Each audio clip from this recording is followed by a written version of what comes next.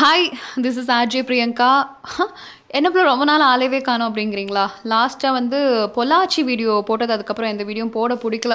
Reason என்னென்னா நிறைய பேர் வந்து அந்த இன்சிடென்ட்க்கு அப்புறம் ரெண்டு நாள் பயங்கரமாக பேசுவாங்க. அதுக்கப்புறம் ஐபிஎல் நடக்குது ஆர்சிபி கப்பு வாங்கல.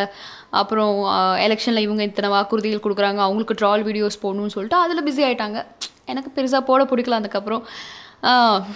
இந்த வீடியோ எதுக்கு அப்படின்னா சில ஊர்கள் பேர் சொல்கிறேன் ஞாபகம் வச்சுக்கோங்க.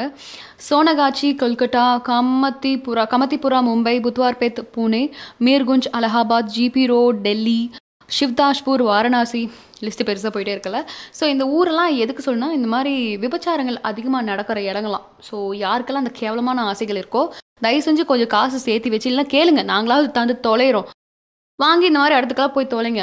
ஏன்னா இவங்க அவங்க வந்து சும்மா ஒன்றும் பண்ணல. அவங்களும் கஷ்டப்பட்டு தான் அந்த மாதிரி தொழிலுக்கெல்லாம் வந்திருக்காங்க. ஏன் இந்த மாதிரி ஏம்பில் பேசுகிற அப்படின்லாம் கேட்குறீங்களா ஒன்றும் கிடையாது.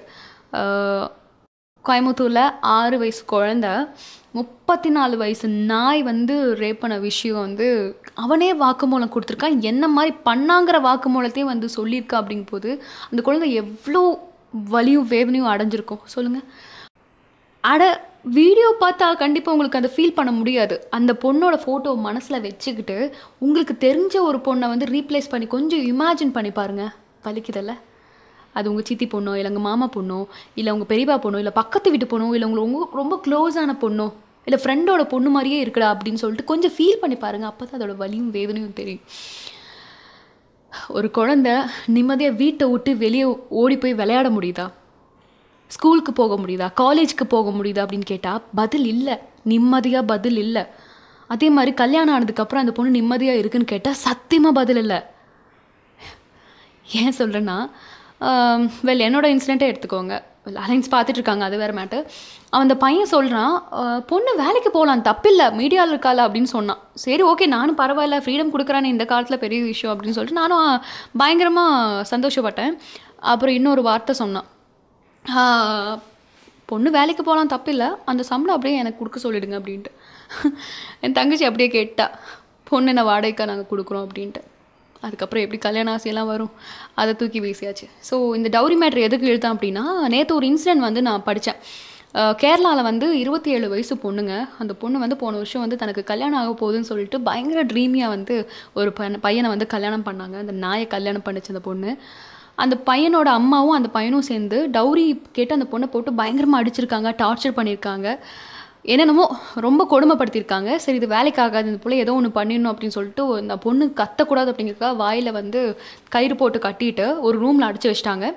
காலையில் ஒரு சர்பத் கொடுப்பாங்களாமா? அப்புறம் நைட்டு ஒரு சர்பத் கொடுப்பாங்க. சின்னதாக ஒரு டம்ளரில் அப்புறம் மதியானம் வந்து ஒரு கிளாஸ் தண்ணி மட்டும் தான் கொடுப்பாங்க. ஒரு மாதத்துக்கு இந்த பொண்ணுக்கு இது மட்டும்தான் கொடுத்துருக்காங்க. அப்படி கொடுக்கும்போது அந்த பொண்ணுக்கு வந்து நல்லா அழகாக அந்த பொண்ணு ஒரு மாதமாக ஆளையே காணும்னு சொல்லிட்டு எல்லோரும் கேட்க கூட இல்லையா? ஹாஸ்பிட்டல் அட்மிட் பண்ணியிருக்காங்க. போய் பார்க்கும்போது தன்னோட பொண்ணு நல்லா அழகாக கொழு கொழுன்னு இருந்த பொண்ணு இருபது இருபத்தி ஏழு வயசு பொண்ணு வெறும் இருபது கிலோ எடையோட சுருங்கி தோல்லாம் சுருங்கி அப்படி இறந்து கிடக்குதுங்கன்னா பிகாஸ் ஆஃப் டவுரி வரதட்சணை கொடுமைனால அம்மாவும் பையனும் சேர்ந்து இந்த பொண்ணை கொன்றிருக்காங்க. சாப்பாடு கொடுக்காம அணு அணுவாக சித்திரவதை பண்ணி கொடுத்துருக்காங்க அந்த பொண்ணை. கொண்டிருக்காங்க என்ன பண்ண முடியும்? டெக்னாலஜி வளர்ந்துருச்சுப்பா. மூட நம்பிக்கையாச்சு அப்படின்னு சொல்லிட்டு அந்த விஷயத்த கேவலமாக பேசி கிண்டல் அடிக்கிற நீங்கள் இன்னும் வரதட்சணை கொடுமை இருந்துகிட்ருக்குன்னு ஏன் உங்களுக்கு புரிய மாட்டேங்குது? ஏய் நான் பர்சனலாகவே நானே ஃபீல் பண்ணுறேனே நிம்மதியாக ஒரு பொண்ணு நடந்து போக முடியுதா?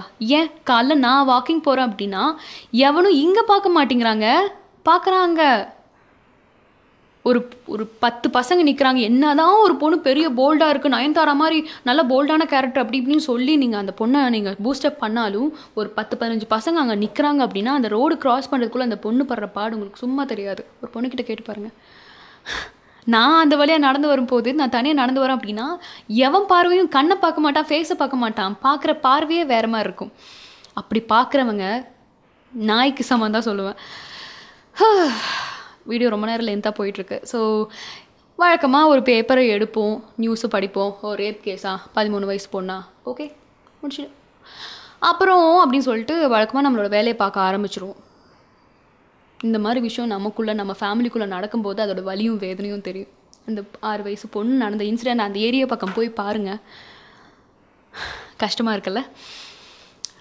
என்ன சொல்யூஷன் அப்படின்னா வழக்கமாக எல்லா வீடியோலையும் சொல்கிறது தான் எல்லாருமே கமெண்ட்டில் ஃபேஸ்புக்கில் ட்விட்டரில் எல்லா சோஷியல் நெட்ஒர்க்லேயும் சொல்கிறது தான் தண்டனைகள் கடுமையாக்கப்படணும் அவனை கொல்லணும் அவங்க அம்மா கையிலேயே கொல்லணும் ரோட்டில் வச்சு கொல்லணும் அவனை அறுத்தெறியணும் அப்படி இப்படின்னு சொல்லி பயங்கரமாக கோவப்படுறீங்க. தப்பே கிடையாது.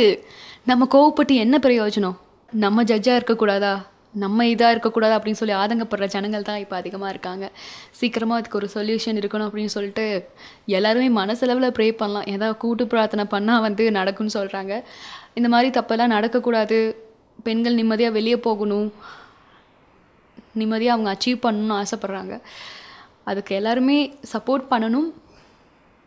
ஆண்கள் நீங்கள் இந்த மாதிரி பிரச்சனைகள் வரக்கூடாது அப்படின்னா ஜஸ்ட் ஒரு ஹேஷ்டேக் போட்டு I will support all girls அப்படின்னு சொல்லிட்டு லைக் ஒரு அண்ணனா ஒரு ஃப்ரெண்டாக ஒரு நல்ல ஹஸ்பண்டாக நீங்கள் இருப்பீங்க அப்படிங்கிற ஒரு நம்பிக்கையை எங்களுக்கு கொடுங்க.